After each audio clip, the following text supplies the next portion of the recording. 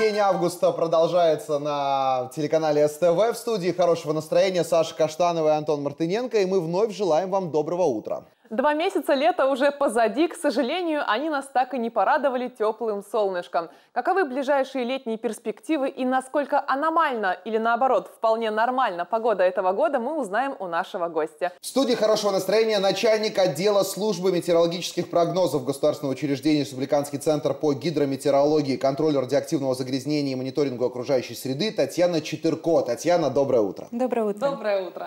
Вдвойне приятно делиться новостями за чашкой ароматного чая и сладкими подарками. Сладкие подарки предоставлены партнерам программы кондитерской фабрикой Видьба. Бисквитные сладости от Видьбы – это неисчерпаемый источник хорошего настроения. Видьба. Наполняем жизнь вкусом. Татьяна, очень рада вас видеть. Э, роскошно выглядите. Расскажите нам, пожалуйста. Вот мы, представляя вас, сказали, что лето как-то вот, ну, не сильно нас радует. Э, радует ли лето нынешнее работников гидромедцентра? Или для вас оно абсолютно нормальное? Работников гидромедцентра радует нынешнее лето только в том плане, что не жарко работать. Угу. А, но... Ну, вообще, вот то, то, то, что говорят люди о том, что вот холодает, это правда или нет? А, ну, конечно, спорить с тем, что э, холодно на улице, точнее, температура непривычно угу. холодная, скажем так, э, спорить с этим бесполезно, потому угу. что купальный массовый сезон так и не начался еще в Республике Беларусь.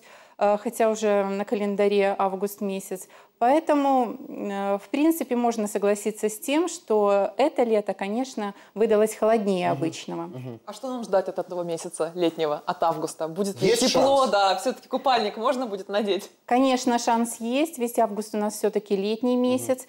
Но, конечно, стоит отметить, что э, сейчас уже лето, как бы говорят, э, идет на убыль, солнце все ниже над горизонтом, э, день становится короче. Давайте будем оптимистами. Угу. Все-таки август еще летний месяц, и тепло, конечно, будет, тем более есть еще и есть еще в истории годы, когда... Было аб... еще холоднее. Нет, когда абсолютные максимумы отмечались именно в августе, угу. поэтому терять надежду не стоит. Не, ну просто, конечно, может один там день будет там плюс 50, и от этого лета, в общем, будет довольно теплым. Но нам, нам интересно, нам теперь всегда так, к такому лету вот надо быть готовыми? Всегда теперь будет в июне, в июле Или, может быть, в сентябре холодно. сразу же будет 27 да, градусов? И... В принципе, нас же разбаловали только 2000-е годы.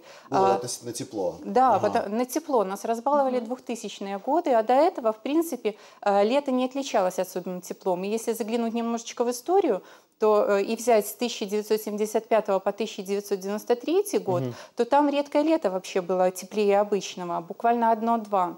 А угу. если взять 1993, если я уже его затрону, там вообще интересная ситуация была, когда июнь был на 1-2 градуса ниже, июль на 1-2 градуса ниже, угу. август в пределах нормы, сентябрь ниже нормы, октябрь на 3-4 ниже нормы, а в ноябре случился обвал холода и на 6-8 градусов ниже климатической угу. нормы. Ну а как, э, как это можно объяснить? Климат меняется, у нас он куда... Я вот с школьного курса по географии помню, что у нас, по-моему, умеренный климат. Вот мы живем да? Умеренно-континентальный. В Беларуси он до сих пор еще пока умеренно-континентальный? Конечно, и это лето доказывает как никакое другое, угу. что мы все-таки живем в умеренном типе климата. То есть вот и для нас больше не свойственны температуры плюс 35. То есть для нашего климата это аномалии. Угу. А вот такие температуры плюс 21, 23, 25 это то, что вот характерно угу. для нашего климата. То есть с природой ничего не происходит, потому что зимой снега нет, все его ожидают, но только но дожди. эта зима с вами могла бы поспорить, да. потому что она была достаточно снежная конечно. А у меня, видите, ощущение, что дождь и дождь.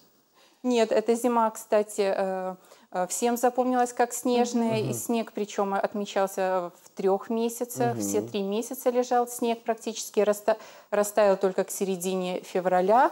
Э, но просто произошло очень резко, он растаял угу. и сразу э, потеплело. Э, и весна в климатологии, когда средняя суточная температура воздуха переходит через плюс 10 градусов, угу. началась в этом году на месяц раньше обычного, в феврале угу. месяце, в конце февраля. То есть, на, оказывается, мы просто не заметили, оказывается, потеплело, мы просто вот не сразу э, Просто случаются, да, такие температурные контрасты. Угу. То есть, если у нас, к примеру, взять прошедший июль, то, конечно, все запомнили э, очень холодное начало угу, июля, угу. и такого холодного начала июля уже не было порядка 20 ну, лет. Я понял по вашему рассказу, самое главное, что вот лето 17 года, это, в принципе, образцовое лето для нашей страны. А то, что было до этого и когда было жарко, это нас зачем-то погода разбаловала. Абсолютно точно. То есть гидромедцентр не советует белорусам покупать кабриолеты. У нас здесь вот, ну, еще не скоро будет подходящий климат для таких автомобилей, наверное.